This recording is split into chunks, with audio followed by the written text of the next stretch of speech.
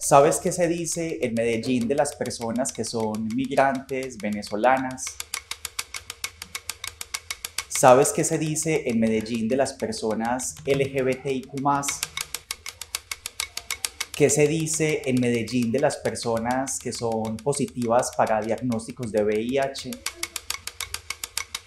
¿Sabes qué se dice en la ciudad de las personas que son firmantes de paz?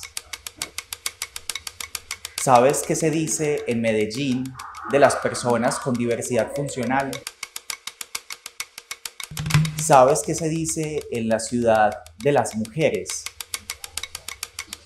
¿Sabes qué se dice en Medellín de las personas que viven en barrios populares o en barrios periféricos?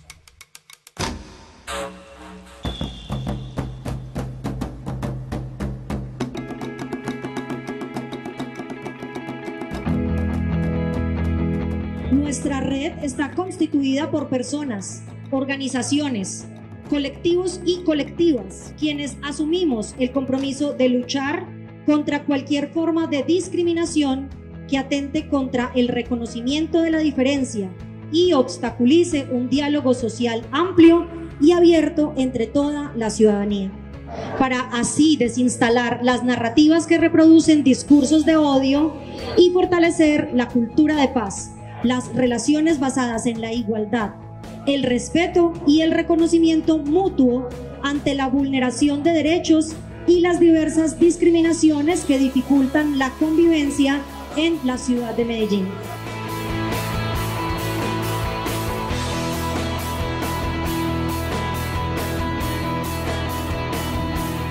El trabajo por la cultura de paz y la construcción de paz sirve como marco para que nuestra red se repiense las desigualdades estructurales que fueron profundizadas en el conflicto armado colombiano. Por esto la paz enmarca los distintos movimientos que surgen y se mantienen en la ciudad contra la estigmatización y los prejuicios.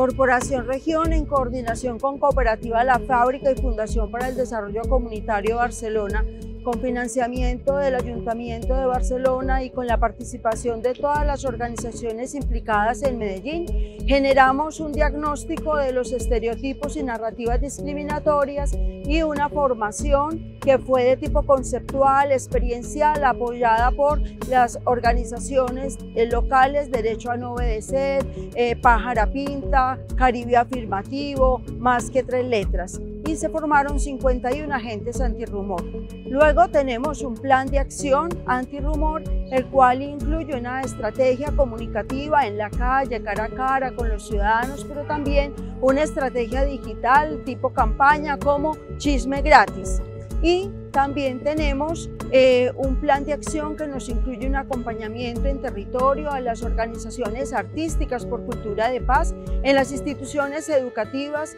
por la convivencia escolar y una agenda transversal que incluye acciones por los derechos de la población migrante venezolana, por la develación de aquellos estereotipos que afectan los derechos de la población LGBTI, un encuentro de las redes antirrumor a nivel internacional para hablar de las experiencias y como red eh, nos dotamos de un manifiesto y un modus operandi para asegurar una eh, acción coordinada a nivel territorial, a nivel horizontal, eh, colaborativo y finalmente acompañamos la estrategia de una acción eh, por la no estigmatización como aporte a la política pública de la ciudad de Medellín.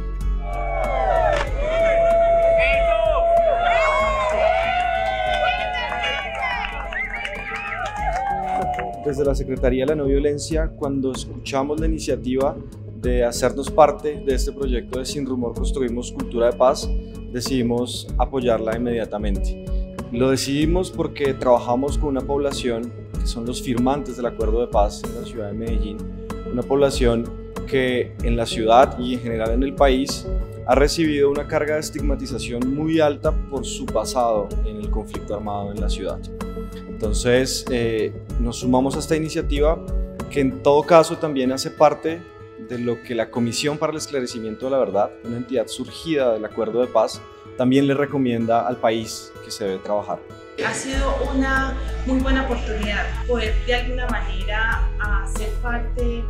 a, todas esas actividades que se vienen emprendiendo, pero también eh, esas acciones que van encaminadas como hacia el cumplimiento del acuerdo final de paz y, con unas miradas muy distintas y ha sido poderoso porque desde las diferencias eh, entendemos que podemos seguir construyendo paz, eh, tejido social. Para mí ser una agente antirrumor es reflexionar constantemente eh, acerca de mis palabras, de mis actos, ser un poco más empática con las personas y reconocerlas como son. Mi nombre es Eddie Mosquera y para mí ser un agente antirrumor es tener la oportunidad de cambiar narrativas discriminantes que afectan nuestra convivencia. Para mí ser agente antirrumor significa la inclusión de las personas con discapacidad, que también sufrimos violencia, pero también me permite ser un agente para la construcción de paz. Entonces, la red antirrumor, haciéndole frente a estos mensajes, se ha puesto en la tarea de atender en distintos sectores de la ciudad y de proponer conversaciones que hagan que el prejuicio no nos nuble la mirada.